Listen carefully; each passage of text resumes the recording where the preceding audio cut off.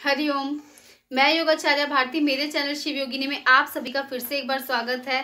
तो दोस्तों, जैसा कि आप सभी देख रहे हैं कि सर्दियाँ धीरे धीरे बढ़ रही हैं और मौसम चेंज हो रहा है और मौसम के चेंज होने के साथ साथ जैसा कि आप सभी को फील होने लगा होगा, थोड़ा बहुत कोल्ड, सर्दी, जुकाम और जैसे कि वायरल धीरे धीरे अब फैलने लग जाएगा।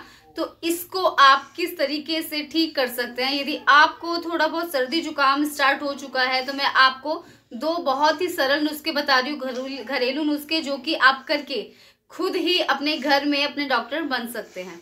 देखिए, आपने करना क्या है? सबसे पहले अपने किचन की तरफ़ जाना है। मैं आपको बहुत ही अच्छी चीज़ बता रही हूँ, जो कि मैंने नोट किया आपके लिए। आप इसको नोट कर लीजिए और इसको ज़रूर आजमाइएगा।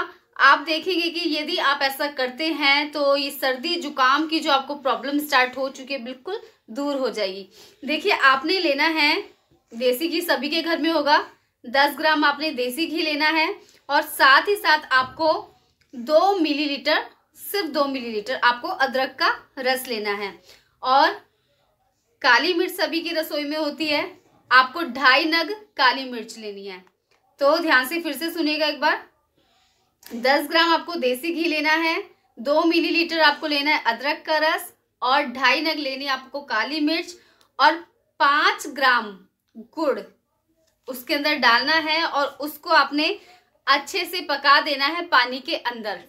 अब इसको पका करके आपको क्या करना है, खाली पेट सुबह आपको तीन दिन तक इसको लगातार लेना है। आप देखेंगे कि सर्दी जुकाम की जो समस्या आपको हो रही है और बिल्कुल छूमंतर हो जाएगी। इसके साथ ही आप एक और उपाय कर सकते हैं। ये भी बहुत इजी उपाय है। इन दोनों में से कोई भी एक उपाय आप करके अपने सर्दी जुकाम को बिल्कुल ठीक कर सकते हैं। देखिए, यदि आपको सर्दी, जुकाम, खांसी इस बदलते मौसम में, सर्दी के मौसम में होने लगा है तो आपको क्या करना चाहिए? आपको दो मिलीलीटर अदरक का रस लेना है और एक मिलीलीटर लेना है आपको तुलसी का अर्क, यानी तुलसी का रस।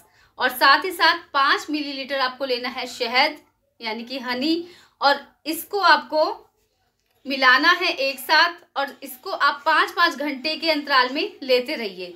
और इसके ऊपर से आप गुनगुना पानी पी लेंगे तो और भी आपके लिए अच्छा रहेगा। इन दोनों में से कोई भी एक नुस्खा यदि आप करते हैं तो डेफिनेटली आपका जो ये सर्दी, जुकाम, खांसी की जो समस्या है, बिल्कुल ठीक हो जाएगी।